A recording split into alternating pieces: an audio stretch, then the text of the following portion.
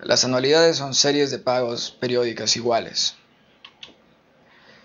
Queremos calcular el monto y el valor actual de una anualidad de 10 mil dólares que se pagará semestralmente durante 10 años al 15% capitalizable semestralmente. Vamos a considerar las siguientes fórmulas. Ahora la fórmula del monto ha variado un poco. Aquí vemos que el valor de n es igual a 20. Teníamos 10 años y como es capitalizable semestralmente, entonces tenemos dos semestres por año. Entonces n va a ser igual a 20.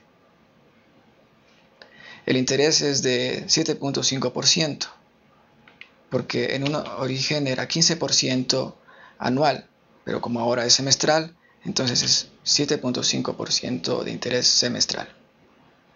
Entonces nuestra inversión de 10 mil dólares tendrá un monto de 433 mil con 46 y 81 centavos. Vamos a calcular el valor actual. El valor actual tenemos los mismos valores de n que es 20 y el valor del interés que es de 7.5%. Aplicando la fórmula, los 10 mil dólares que teníamos originalmente tendrán un valor actual de 101.944,91 centavos. Vamos a hacer el análisis de otro ejemplo práctico. Necesitamos 60 mil dólares para comprar un departamento. Acudimos a diferentes bancos. Finalmente un banco ofrece un crédito de 75% del valor, es decir, 45 mil dólares nos ofrece prestar este banco. Pero nos ofrece a una tasa anual del 12% y a tres años plazo.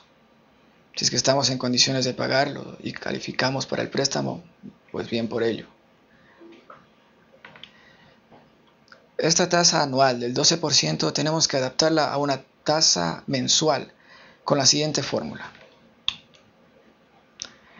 El interés mensual es igual a la unidad más el interés anual que teníamos originalmente, que era del 12%, vamos a elevarlo al exponente de 1 sobre 12. 12 por los meses del año finalmente menos 1, tendremos un interés mensual de casi 1%. Esto vamos a aplicarlo con la fórmula de la cuota mensual que la tenemos ahora en consideración. El valor que nos va a proporcionar el banco es de 45 mil dólares.